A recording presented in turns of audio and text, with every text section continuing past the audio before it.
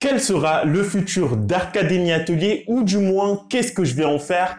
Mais pour bien comprendre ce qui va se passer, il faut que je vous explique d'abord comment est-ce que j'ai commencé. Donc restez bien jusqu'à la fin, je vais vous expliquer, vous donner l'occasion de vous exprimer et de donner votre avis dans les commentaires. Donc à la base, quand j'étais étudiant, je voulais déjà ouvrir un atelier d'art, une structure dans laquelle je donnerais des cours de dessin. Mais comme j'étais étudiant et que je bossais de nuit, il y avait un gros problème puisque j'avais ni le temps et financièrement, il faut euh, investir pas mal dans tout ce qui est matériel. Déjà la structure, payer les bâtiments et puis les chevalets, les matériaux d'art qui vous permettent de dessiner et d'avoir tout le cadre pour dessiner correctement. Donc là, ça me posait un petit souci. Donc je réfléchissais bien à quelle solution est-ce que je pourrais mettre en place. Et au bout d'un moment, j'ai eu l'idée de créer les cours en ligne. D'accord? Donc créer la structure euh, YouTube, créer la chaîne YouTube, c'est en 2018, avec les cours en ligne sur mon site. Et comme ça, ça a commencé à plutôt bien marcher. Et avec le temps, bien sûr, j'y pense toujours. Hein, euh, en janvier 2020, j'avais ouvert ma première salle, mais que j'ai dû fermer en mars 2020 à cause du confinement. Ce qui était embêtant, mais bon, j'ai continué à euh, donner les euh, cours et à faire les vidéos sur YouTube. Donc finalement, c'est un mal pour un bien.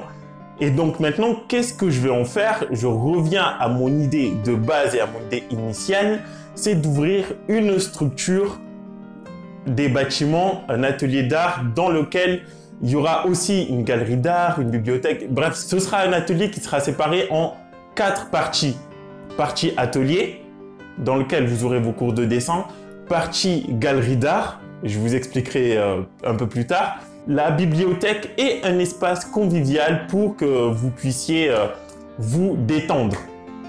Dans la partie atelier, ce que j'aimerais faire, c'est bien sûr ait euh, tous les cours dont vous aurez besoin, modèle vivant, euh, modèle vivant, dessin de plâtre, tout ce qui est euh, dessin de portrait, dessin technique, peinture technique, etc. Mais surtout organiser les cours de manière à ce que vous ayez tout le cadre pour que vous, vous puissiez dessiner. Donc je sais bien que quand vous rentrez du travail, que vous soyez salarié ou étudiant, vous rentrez du travail, souvent vous êtes fatigué, vous avez des choses à faire, vous pensez ne pas avoir le temps ou la motivation pour euh, faire ce que vous voulez faire, même si vous dessinez, parfois même on se trouve des excuses pour ne pas dessiner, eh bien là je vous mets un cadre, une structure pour que vous organisiez votre journée. Vous savez que en sortant du travail, en sortant de l'université, en sortant des cours, vous alliez à l'atelier et vous aurez un cours de dessin spécial, celui que vous aurez choisi. Ou bien sûr, j'y pense aussi, donner un cours de dessin libre. Donc vous venez, vous, travaillez sur un dessin, vous vous posez et vous travaillez sur votre dessin sans distraction. Parce que chez vous, bien sûr, évidemment, si vous avez des enfants, les enfants, ça prend du temps, ça prend de l'énergie, pas le temps de dessiner. Si vous sortez de l'université, vous avez les cours à faire. Là aussi, ça prend du temps. Donc quand vous êtes à l'atelier, eh bien, vous pouvez vous concentrer directement et spécialement sur votre dessin et sur vos travaux. Et bien sûr, c'est aussi la raison pour laquelle sur la chaîne YouTube, je fais des lives le soir parce que là, c'est cours de dessin, enfin cours vidéo, euh, un moment pour nous, donc euh, soirée, dessin et détente. Comme ça, on peut dessiner ensemble. Mais si je le transpose à l'atelier d'art, vous sortez du travail et vous pouvez venir dessiner directement. Donc ça, c'est euh, super, c'est génial. Il y aura plein de cours, hein. dessin technique, peinture technique, modèle vivant, comme je vous l'ai dit avant plus cours de dessin libre où là, vous venez, vous dessinez absolument ce que vous voulez, vous dessinez sur vos propres projets. Et ça, ce sera à n'importe quelle heure. Donc, l'atelier, je pense l'ouvrir de 10h jusqu'à 22h. Donc, pour les personnes qui ne travaillent pas ou pour les personnes âgées qui sont à la retraite, par exemple, vous avez les cours la journée. Pour ceux qui viendraient le soir, je sais que très souvent, ce seront ou les salariés quand ils sortent du travail ou les étudiants. Moi-même, j'étais dans un atelier d'art, donc je sais comment ça se passe. Je, connais le profil des personnes qui seront là, on va dire. Donc ça, ce sera pour la partie atelier. Ensuite, il y aura la partie galerie d'art. Et là, c'est hyper important parce que, et même très très intéressant parce que même la galerie sera séparée en plusieurs parties, en deux parties. Je vous donne l'occasion de pouvoir exposer vos propres travaux dans la galerie.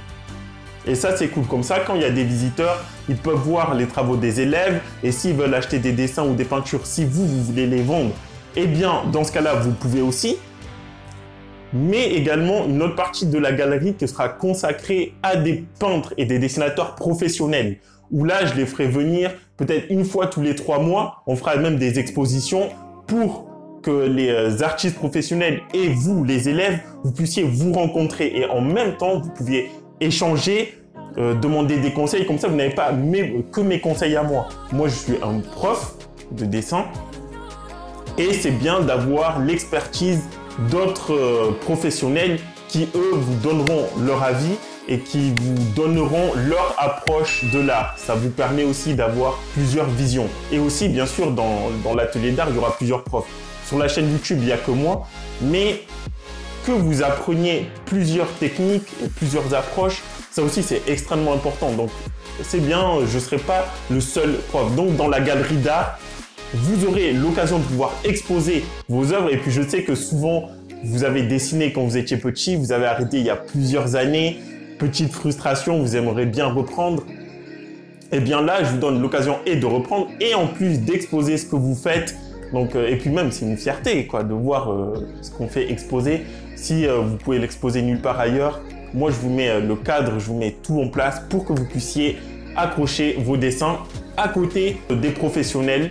Comme ça, vous pouvez échanger et même restez bien jusqu'à la fin. Là, je vais, euh, j'expliquerai ça à la fin. Ensuite, il y aura aussi une partie bibliothèque dans laquelle il y aura deux types de livres. Des livres sur l'histoire de l'art où vous pouvez en apprendre davantage sur l'art, sur l'histoire, sur les différents peintres et dessinateurs, les grands artistes qui ont euh, existé dans les euh, siècles précédents, que ce soit pour tout mouvement. Moi, c'est vrai que je suis surtout centré sur le classicisme, le dessin réaliste, le classique, le baroque, mais on va vraiment élargir la gamme et voir d'autres euh, styles graphiques. Donc je sais que pas tout le monde préfère le dessin réaliste, certains veulent être un peu plus dans l'abstrait également.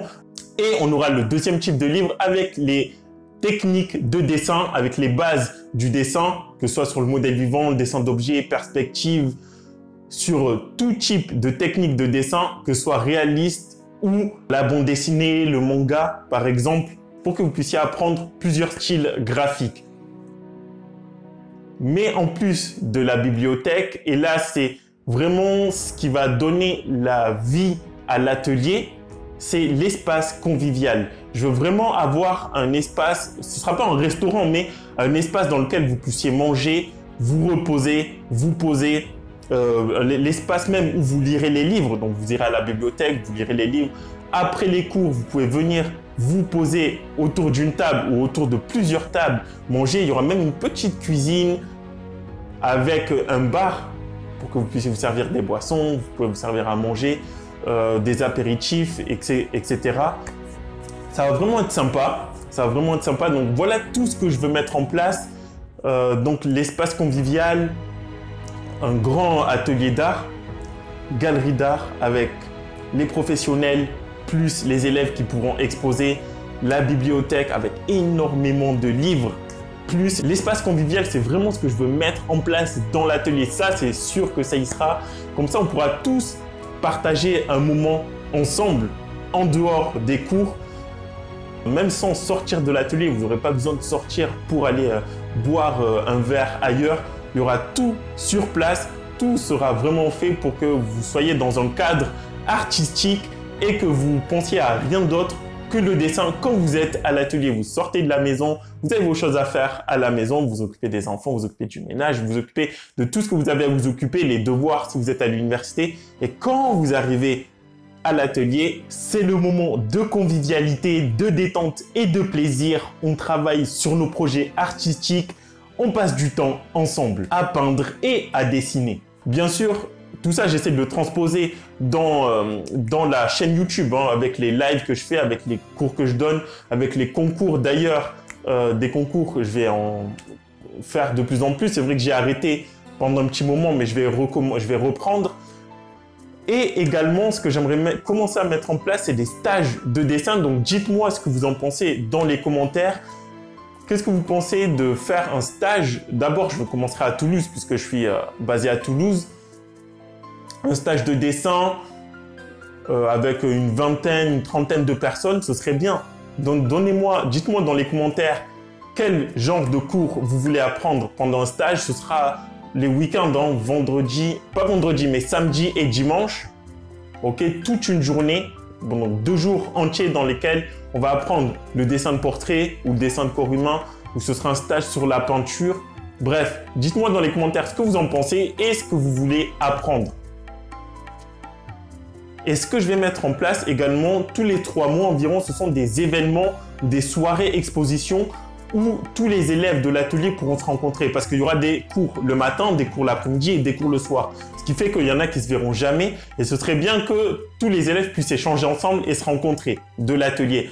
Donc je vais organiser ça, des soirées de ce type-là, des soirées même avec des, euh, des, artistes qui feront des lives où ils dessineront en direct. Et c'est l'avantage pour que tous les élèves puissent se rencontrer. Je vais mettre tout ça en place à partir de septembre, surtout pour les stages. D'accord? Dites-moi pour les stages ce que vous en pensez. J'aimerais commencer à partir de septembre, les week-ends. Donc, euh, je vais, on en parlera en live également. Et euh, j'ouvrirai les places pour un stage. Et si ça marche bien, eh bien, on, on organisera un stage. Pour les personnes qui ne sont pas de Toulouse, eh bien, on essaiera de trouver un logement pour euh, vous loger, un hôtel qui sera pas trop loin du stage pour que vous puissiez marcher 5 minutes, même pas, entre l'endroit où vous dormez et le stage. Bref, dites-moi ce que vous en pensez. Moi, je vous retrouve dans les commentaires. Ciao